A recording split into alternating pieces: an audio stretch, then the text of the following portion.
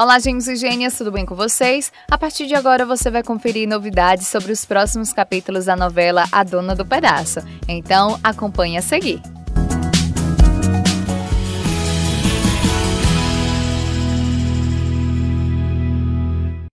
No capítulo 36, sábado 29 de junho, Vivi e Maria da Paz não conseguem se entender. Amadeu fala para Jo que não vai abandonar Gilda. Chiclete tenta acalmar Vivi. Liris pede para Rael ir até seu apartamento. Marlene não gosta quando Antero elogia Evelina. Vivi e Chiclete vão para um motel. Liris pede que Gilda continue investigando Agno. Agno afirma que Rock será campeão de boxe. Regis perde no jogo. Antero leva Maria da Paz para comprar seu vestido de noiva. Márcio engana Kim para tentar convencer Silvia das más intenções da moça.